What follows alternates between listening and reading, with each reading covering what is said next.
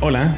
Probablemente te enteraste de una lista de personas y empresas, entre ellas Angélica Rivera, alias la Gaviotilla, alias la ex primera dama, José José, que en paz descanse, Juan Gabriel, que en paz descanse, Ana Guevara, Diego Fernández de Ceballos, Paulina Rubio, Jade Kolpolenskia, ni siquiera sé si pronuncié eso bien, pero es la presidenta de Morena, entre muchas otras celebridades, políticos y figuras públicas, a los que Hacienda decidió no cobrarles impuestos o condonarles una parte de su deuda. Y los perros encarcelaron a Paquita la del barrio, que después les pagó en especie haciendo promocionales del SAT, cantando que pagues tus impuestos, se pasaron con Paquita. Esto de perdonar la deuda normalmente se hace cuando la persona o empresa no tiene con qué pagar o cuando los gastos generados por el mecanismo de recaudación superan al monto de la deuda. Pero al darle una ojeada a esta lista no me queda muy claro por qué a muchas de estas personas físicas y morales se les perdonó la deuda. La reforma fiscal de Peña Nieto lo que buscaba era una mayor recaudación. Hasta comenzaron a dar todas las facilidades para que los comercios pequeños y pequeñas empresas se regularizaran, para que más gente pague impuestos y crezca la recaudación. Pero cuando te enteras de que el sistema de administración tributaria, Hacienda aquí en México, perdonó 274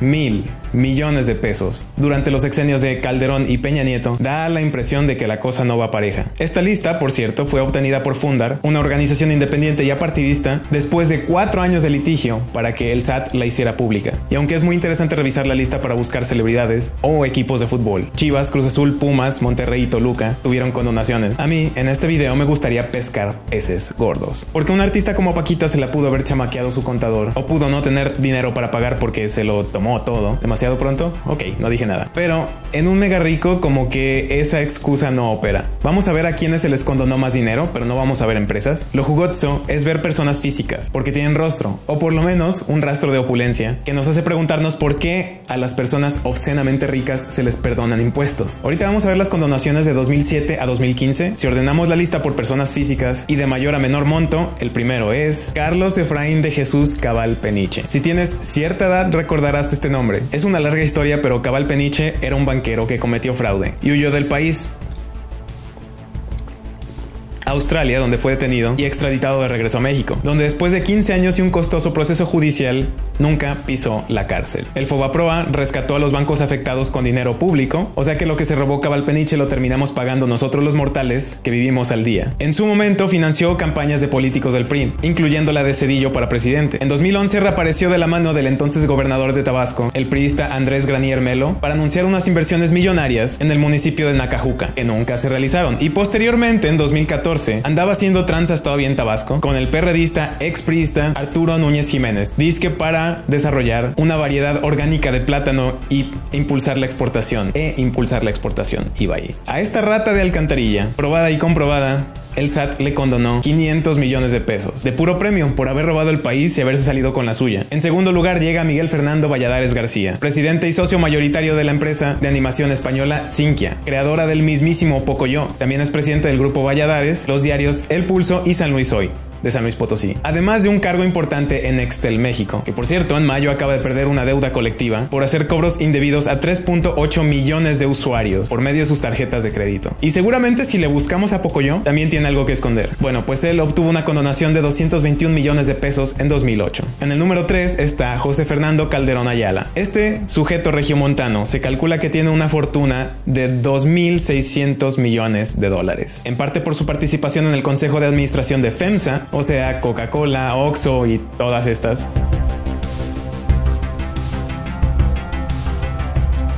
Y en 2010 cambió la cervecera Cuauhtémoc Moctezuma por el 20% de participación en Heineken. Y también es estúpidamente rico en parte por la herencia que les dejó su padre a él y su hermano, que entre lo que les dejó figura una sociedad en las Islas Caimán gestionada por la firma Appleby, una empresa dedicada a esconder el dinero de los súper ricos. Y pues uno pensaría que alguien que aparece en la lista de las mil personas más ricas del planeta año tras año en la revista Forbes, Forbes no necesita una condonación de 194 millones de pesos, pero Hacienda creyó que sí en 2013. El cuarto de la lista es Alfredo Helfon Daniel. Helfon, Helfon, ¿qué tan muda es la H aquí? No sé. No lo conocía de nombre y no podía encontrar mucha información, pero es uno de los 289 mexicanos que aparecen en los Panama Papers, que fue esta filtración al público por medio de un trabajo investigativo de cientos de periodistas alrededor del mundo sobre una red internacional de lavado de dinero que fue expuesta en 2015. Aparece como propietario junto con Gabriel Rafael Salomón Abraham Elías y Jacobo, del mismo apellido, supongo que son hermanos, de una compañía de nombre SHY Limited en Islas Vírgenes. Así que no, una blanca paloma no es. Entonces dije, sí, sí debe haber algo. Seguí buscando y como soy hackerman, encontré que se trata del arquitecto Freddy Elfón Daniel, propietario del grupo inmobiliario Alel, fanático de las Chivas, amigo de Vergara y potencial comprador del equipo valuado en 297 millones de dólares, 800 si le preguntas a Vergara. O sea que liquidez no le hace falta. También es amigo de Carlos Slim Domit y de Emilio Azcárraga De hecho, estuvo sentado en la mesa de Emilio Azcárraga durante la boda de Carlos Slim Domit. Fue el desarrollador del complejo Park Plaza en Santa Fe y ganador al premio de la Asociación de Desarrolladores Inmobiliarios en 2012, que recibió de las manos del mismísimo Calderón. También desarrolló el complejo turístico Canay en la Riviera Maya, en el que durante su construcción se ignoró la reglamentación ambiental. Bueno, pues así como lo ven, pobre diablo no es, y le condonaron 166 millones de pesos. Y bueno, la lista sigue y sigue, les voy a dejar el vínculo en la descripción de este video para que ustedes la chequen. Lo que yo evidencié al ver los primeros nombres es que estas personas no necesitan ninguna especie de ayuda económica de ningún tipo. Y sin embargo, el SAT les perdonó deuda. También hay otros artistas que no vi en ninguna de las notas. Por ejemplo, aquí están Eduardo Capetillo, Kate del Castillo, Bárbara Mori, Yuri, Sasha Sokol. Pues bueno, no los puedo juzgar, no sé cuál es su situación económica actual, pero pues ahí están. Los invito a que le den un repasada a esta lista, está interesante. Capaz que se encuentran a alguien conocido. Ahí en la descripción les dejo el vínculo. Lo curioso de esta nota es que precisamente ayer estaba cabreado, tuiteé al respecto sobre Mark Zuckerberg. Él es una de las personas más ricas del planeta y hasta Ayer yo pensaba que era una de esas personas que no saben que son malas, o sea, un millonario que es tan millonario que no se da cuenta de lo terrible de lo que hace y las consecuencias que tiene todo lo que está, sobre todo por su influencia en esa red social que es probablemente de las más importantes, si no es la más importante. Y yo le daba el beneficio de la duda, yo decía, bueno, pues es que así son los ricos, a veces están desconectados de la realidad. Pero me di cuenta que no es que sea uno de esos ah, villanos que creen que están haciendo las cosas bien. No, él está siendo activamente malvado.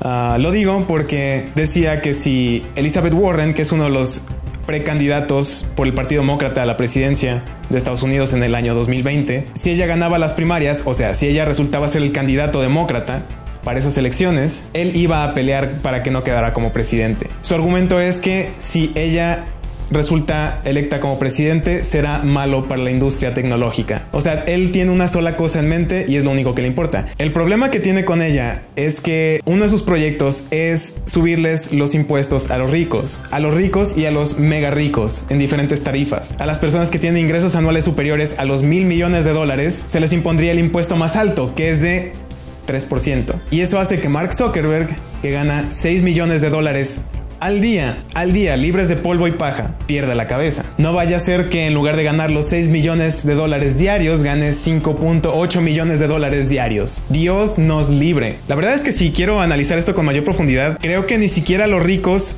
se dan cuenta de que bajarles impuestos a ellos los perjudica. Por ejemplo, en un sistema capitalista, el mejor momento a nivel mundial en cuestión de desarrollo de un país habría sido, por ejemplo, Estados Unidos en la época postguerra, me refiero a la Segunda Guerra Mundial, o sea, los 50s y 60s. En ese momento, los ricos tenían los impuestos más altos de toda la historia de Estados Unidos y el país prosperaba como nunca porque con tal recaudación el Estado era capaz de redistribuir la riqueza en forma de servicios e infraestructuras, de modo que las personas, el público en general, incluso las clases más bajas, no se morían de hambre. Por lo tanto, tenían capacidad de comprar cosas, de comprar bienes, de ser consumistas. Pero eso también a los empresarios, a los ricos, les convenía porque el dinero regresaba a ellos se producía más, el dinero daba más vueltas. Ahora con esto de que no quieran que se les pongan impuestos, de que financien campañas de candidatos que no promuevan elevarles los impuestos y al contrario que se los bajen, lo que están generando es que el dinero se estanque. Ellos ya no lo quieren soltar. Antes de empezar esta administración en Estados Unidos que les bajó los impuestos, la promesa era de que bajándole los impuestos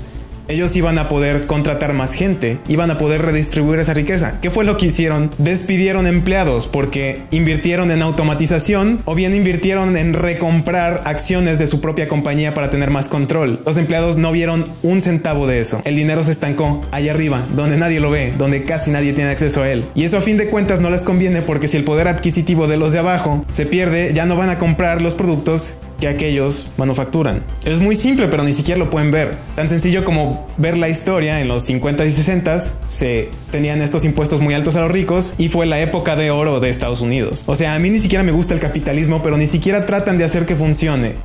Bueno, esta fue mi medio rabieta, medio datos curiosos y andar de metiche a ver quién es extremadamente rico aquí en México, les recomiendo que chequen esa lista, a ver si se encuentran alguien famoso. Me ponen en los comentarios si se encuentran a alguien que yo no vi. Los espero en el próximo video. Cuídense mucho. Suscríbanse si no están suscritos. Denle click a la campanita para que les avise cuando subo un video nuevo. Les dejo mis redes sociales al final para que me sigan por todos lados. Los quiero mucho. Nos vemos el próximo. Adiós.